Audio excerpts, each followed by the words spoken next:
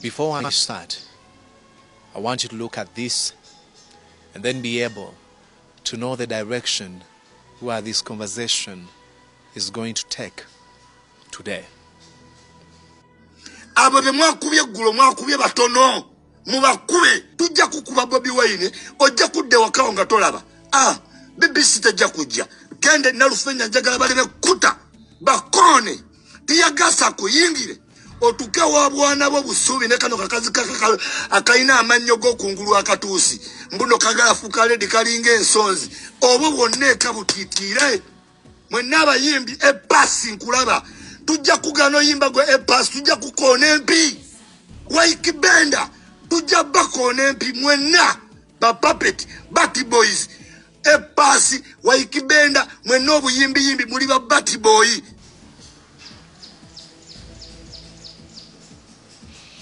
I know that threatens you. It disturbs you. You just can't believe what you just watched. In simple terms, it is the true definition of hate speech. Very heartbreaking video that is making trends on social media. It is very heartbreaking that the person saying whatever that is said is donning in a t shirt that has the photo of the President of the Republic of Uganda, General Yoweri Kaguta Tibuhaburwa Museveni. It is very wrong that it is very okay for this video to trend. And he speaks with a lot of confidence. His name is Olaxess at Ismail, a sympathizer, a supporter, fanatic of the current government or the ruling party, the National Resistance Movement. In his words, he says, We are going to beat you up. We are going to silence you. And we are going to do in our means to make sure that you don't say a single word. He threatens to kill lives. And he says, because he belongs to the National Resistance Movement, whatever that means. But the danger in these words is the fact that so many people are quiet. As this continues to trend, so many people are quiet, and probably you could say is only one person.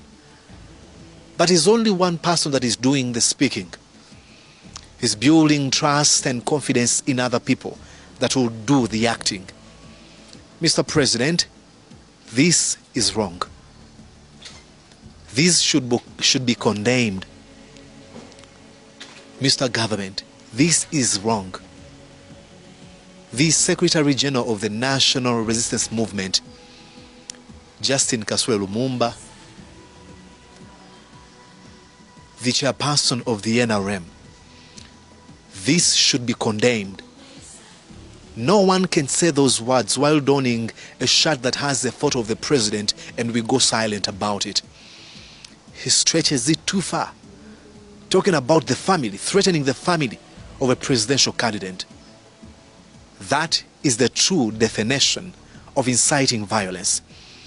And as I've heard so many people being accused, dragged to courts of law, charged with inciting violence, this, said by Olaxess at Ismail, is the true definition of inciting violence.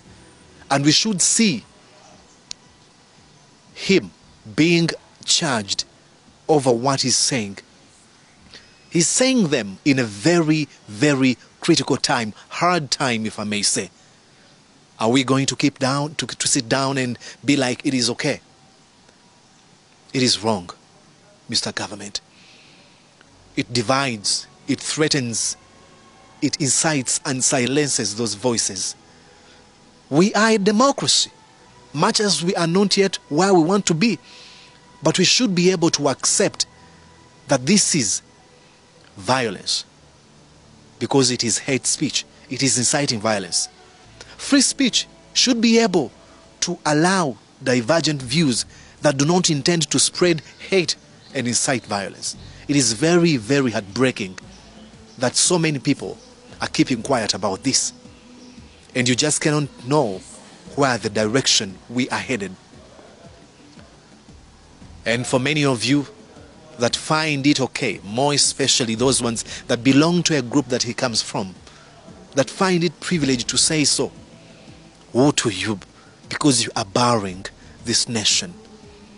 The future of this nation is being put down by you because you are not condemning.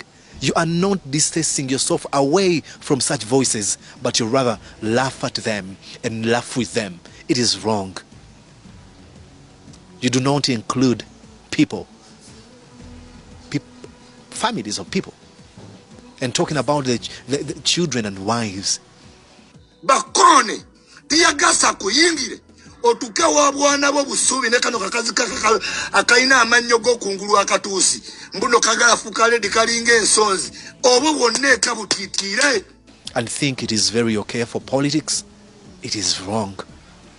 All of us should condemn hate speech, and all of us should distance ourselves from people that incite violence because that's not who we are. And that's not going to build this nation. It is time to define ourselves and define, like I said in the previous video, which route of our country we want us to take. Very wrong very wrong to laugh at this. That's what I lo- I, I looked at and I was disturbed. I can't believe. However, all hope is not lost. To you, a Ugandan is watching from wherever you are, all hope is not lost. Do not mind about these petty, mean, and wrong voices. They sound too loud and subversive. But the good work of the good people sound much more louder. And let us not be distracted by these people. Let us continue putting our efforts in the nation building, in building a nation that we are going to be proud of. A nation that we shall be able to be proud that our children and our children's children will be able to live in. Continue the good work. Build and make sure you are not turned off by this. Let us stand firm to condemn. And I will request Alexis at Ismail, everywhere you are, I've had a time to interact with you, to come and say, I am sorry for what I said, because it was gross and it was wrong. I am Mordecai Muriisa, for God and my country.